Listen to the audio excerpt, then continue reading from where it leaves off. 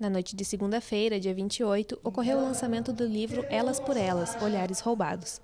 O evento encerrou a oitava Semana Municipal da Mulher. A obra é escrita por 14 mulheres e fala dos relacionamentos femininos com o mundo. A capa é de autoria de Marília Chartuni, secretária de Cultura de Santa Maria.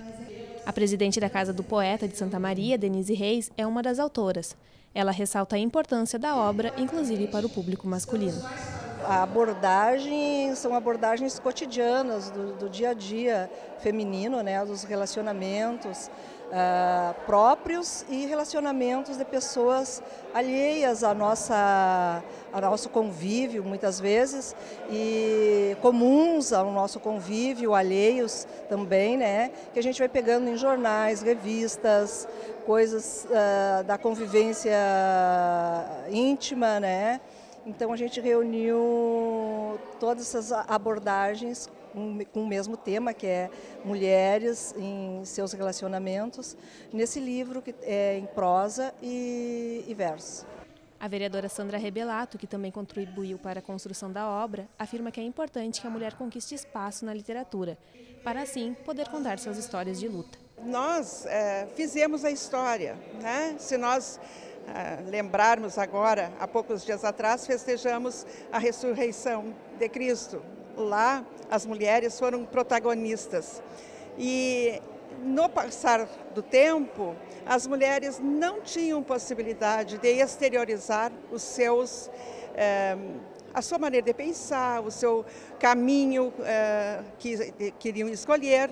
Hoje, a literatura dá o direito às mulheres de colocar para a população inteira o seu criar, o seu fazer, o seu exercitar uh, os pensamentos e colocar no público a ideia de que todos somos iguais, homens e mulheres, e que precisamos estarmos juntos para fazermos a nossa história. As comemorações da oitava Semana Municipal da Mulher ocorreram durante o mês de março. Sandra Rebelato, criadora da lei que institui a semana, se diz encantada com toda a programação realizada.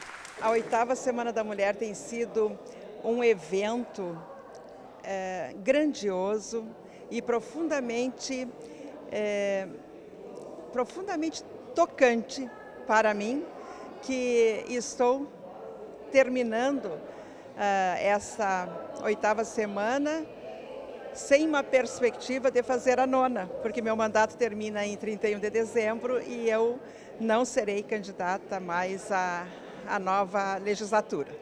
Então, hoje é um dia muito especial, porque nós estamos praticamente encerrando a Semana Municipal da Mulher, que eh, ultrapassou o lapso de sete dias, já nós estamos a no dia 28 e ainda com estas eh, homenagens eh, sempre acontecendo.